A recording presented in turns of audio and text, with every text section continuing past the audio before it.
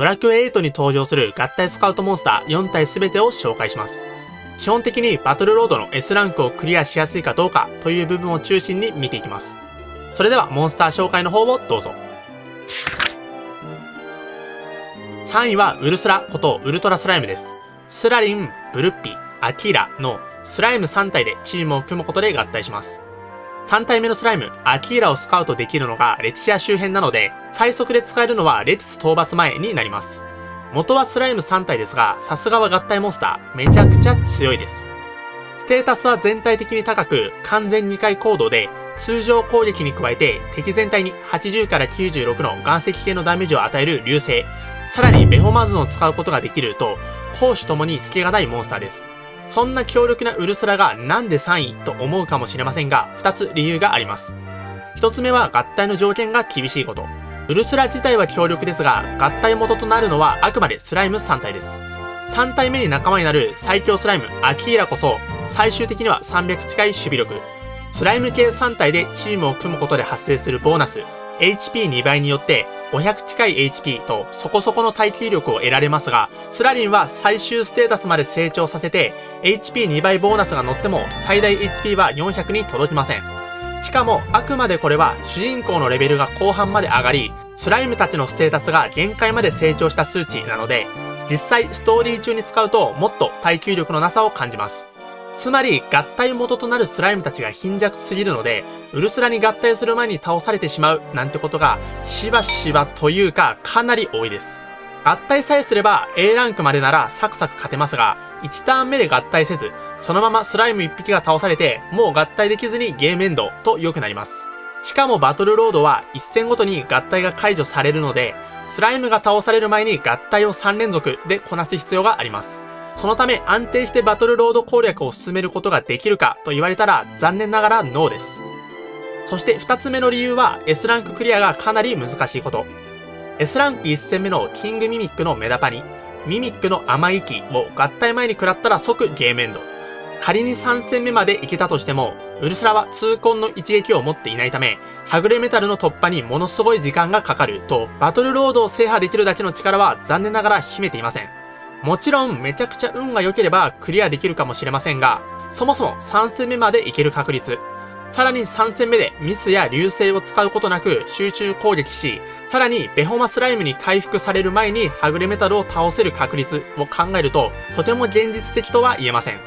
先ほど言った通り、最速で使えるようになるのはレティシア到達時点なので、そのタイミングでクリアできるのが A ランクまで、しかもかなりの運絡みと言われても正直物足りないですよね。というわけで、強力ではあるのですが、ウルスラは3位になりました。ちなみに 3DS 版では痛恨の一撃とは別で、全モンスターが通常攻撃で会心の一撃を出せるようになったので、はぐれメタルを突破しやすくなっており、S ランククリアが PS2 版の頃よりは簡単になっています。2位は 3DS 版限定のモンスターですが、スパモグことスーパーモグーラです。モグラン、ドリュー、ラモッチのモグラ3体でチームを組むことで合体します。スパモグは MP は0ですが、それ以外のステータスは全てウルスラ以上で、特に600超えの攻撃力は目を見張るものがあります。さらに完全2回行動で、通常攻撃に加えて痛恨の一撃、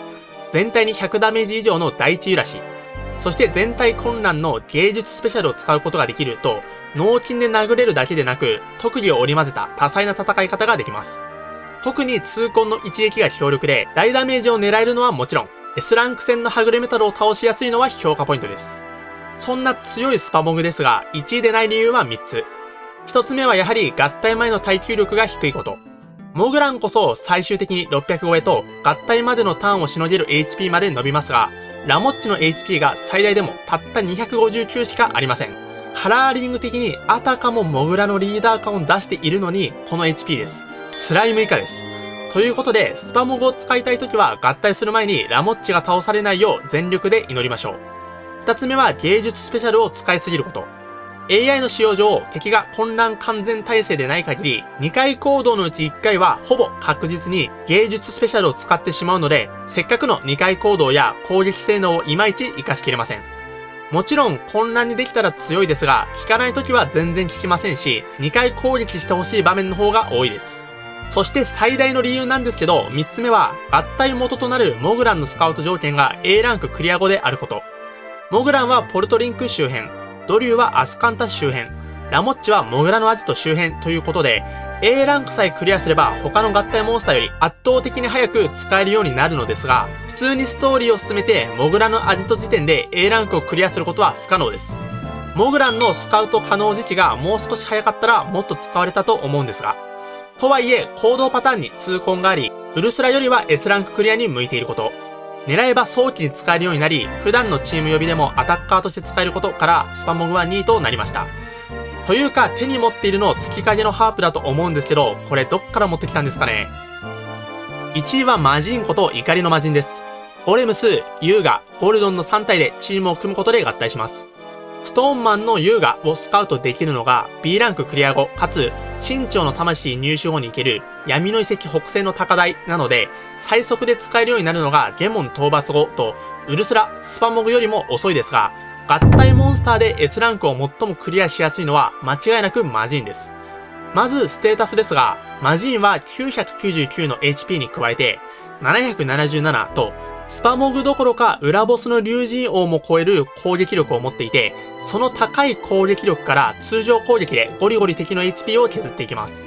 ウルスラ、スパモグとは違い、マジンは1回行動ですが、それが気にならないくらい高いダメージを一撃で出してくれます。さらにマジンは6分の1と高い確率で痛恨の一撃を出すことができ、3戦目のはぐれメタルを含めた S ランクの敵モンスターをほとんど一撃で粉砕できます。合体までこちらの HP をじわじわ削ってきた相手モンスターを合体後ことごとく殴り倒していく様は見ていて気持ちいいの一言です。そして何より嬉しいのが合体前でもそこそこ耐久力があること。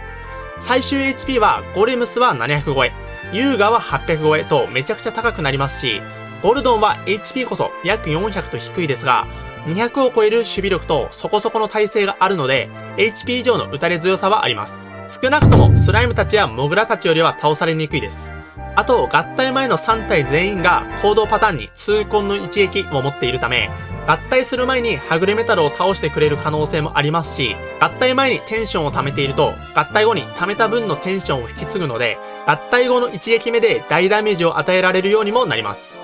もちろん何ターンも合体せずに合体前に倒されてしまうことや合体しても3戦目のヘルクラッシャーの眠り攻撃で一生眠らされて勝てないなんてこともありますがそれでも数回挑めば S ランククリアは十分可能です。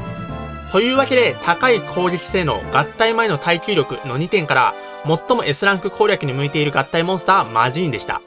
実際初見プレイの時はマジーンで S ランククリアしたって人も多いと思うんですけど皆さんはどうだったでしょうか？そして最下位の4位はグレドラことグレートドラキーです。ドラ吉、ラッキー、スギアンのドラキー3体でチームを組むことで合体します。グレドラにも強みはあるのですが、それ以上に弱い部分が多く、何より S ランク攻略に向かないので、この順位になりました。